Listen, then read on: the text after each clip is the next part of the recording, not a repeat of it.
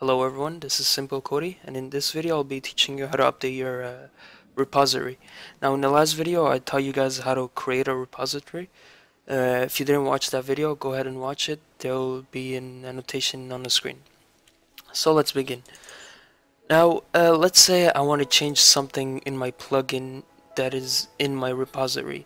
So let's just change something quick in my plugin. Uh, no, it's this one right here. So uh, over here as you can see I only have one channel which is Vivo TV. It's called Vivo TV which is right here. Now let's say let's change the name of it. What's this? X. Now let's just say we're gonna change the name of it. Let's go. Let's call it uh, Vivo uh, Chan. No.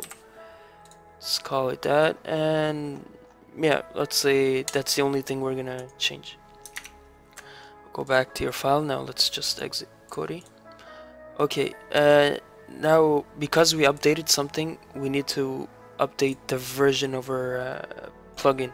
So just rename it rename the folder to let's say we're gonna update it to 1.0.1 and go into the addon.xml and change it right here too. And hit save. Just close everything here uh, now for the plugin, we're basically done. Now for the addons.xml, the, the one with the S, we have to change the version over here too.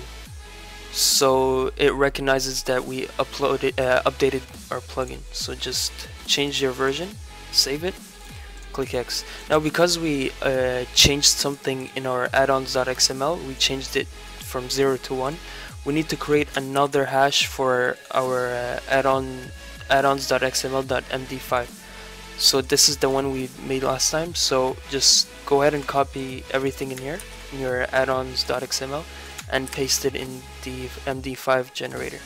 And copy the code. And just paste it right here. And save.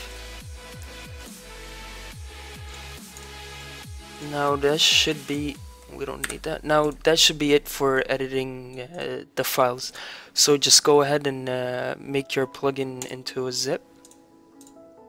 And as you can see it's 1.0.1 before it was 1.0.1 now go to your uh, 0, 0, uh, 0, 0, 0 web host account. The one we created in the last video. Go to uh, plug, uh, public underscore HTML zips.